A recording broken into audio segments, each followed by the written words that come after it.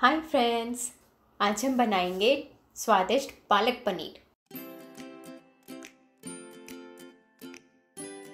पालक पनीर बनाने के लिए हमें चाहिए two cups chopped tomatoes one cup chopped onion 250 grams of paneer two cups of boiled spinach सबसे पहले हम पालक को धोकर, उबालकर उसकी प्यूरी बना लेंगे। अब एक पैन में हम two tablespoon of oil डालेंगे। उसमें वन पिंच ऑफ़ हींग डालेंगे। वन टीस्पून ऑफ़ जीरा डालेंगे। अब इसमें half cup of chopped onion डालेंगे और उसको अच्छे से सौते होने देंगे।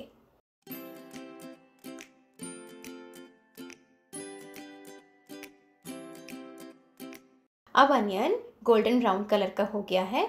इसमें हम बॉइल्ड स्पिनच की प्यूरी डाल देंगे। और उसको अच्छे से कुक होने देंगे। अब इसमें वन टीस्पून ऑफ़ सॉल्ट डालेंगे। सॉल्ट अकॉर्डिंग टू टेस्ट डालिएगा आप। मैंने वन टीस्पून डाला है।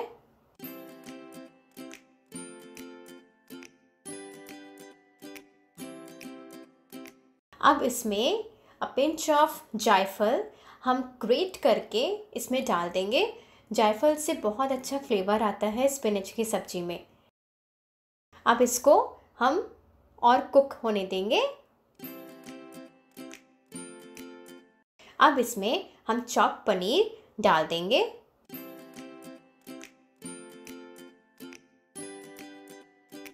थोड़ा सा पानी और डालकर इसको और दो मिनट तक बॉईल होने देंगे।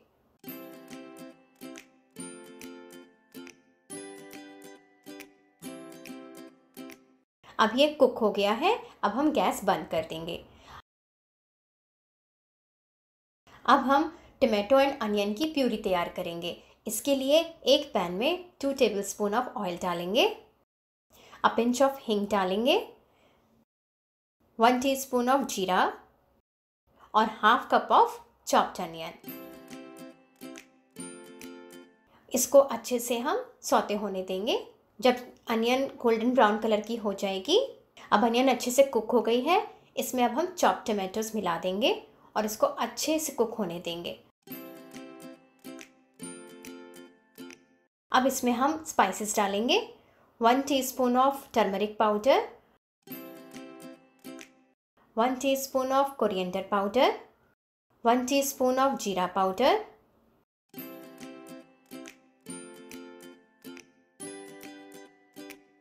one teaspoon of garam masala, इसको डालकर हम अच्छे से इसको कुक होने देंगे।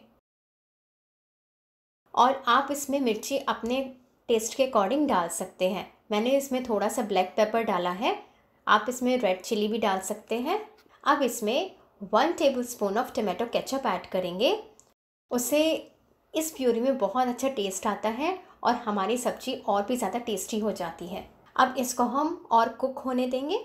अब हमारी प्यूरी बिल्कुल तैयार हो गई है। हम गैस बंद कर देंगे। अब हम पालक एंड पनीर के मिक्सचर को एक अवन सेफ़ बाउल में निकाल लेंगे।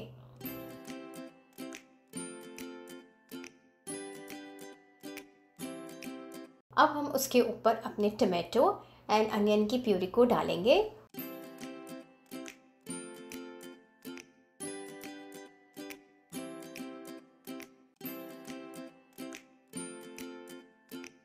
ऊपर से पनीर को ग्रेट करके डालेंगे।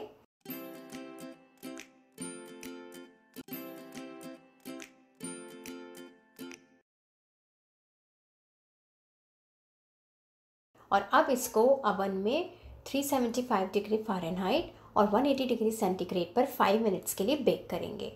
देखिए, हमारा स्वादिष्ट पालक पनीर बनके बिल्कुल तैयार है। इसको एंजॉय कीजिए।